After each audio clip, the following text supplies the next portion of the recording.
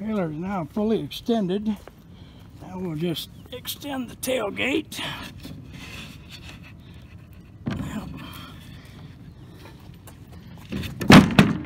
Tailgate goes down over the roller. And now it's just a matter of pulling that hovercraft up on the trailer.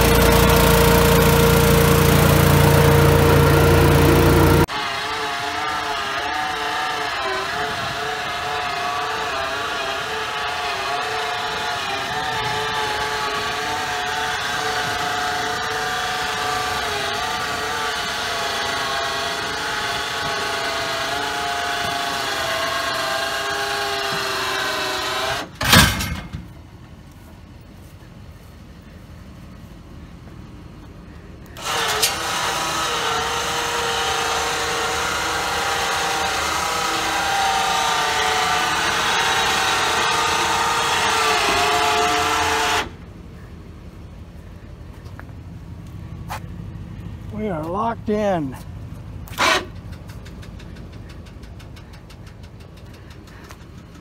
Hovercraft is loaded. Now, interesting thing about this is, is I've got little side rails here. I can pop this up, slide this back, lay this all the way down. On both sides of the trailer, I have access to the hovercraft. And not only that, but if I want to extend my workspace, I roll this up, drop a couple of pins in, and on each side I have a working platform.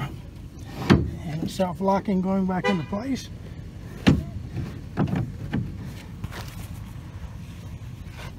There we go. Hovercraft is loaded.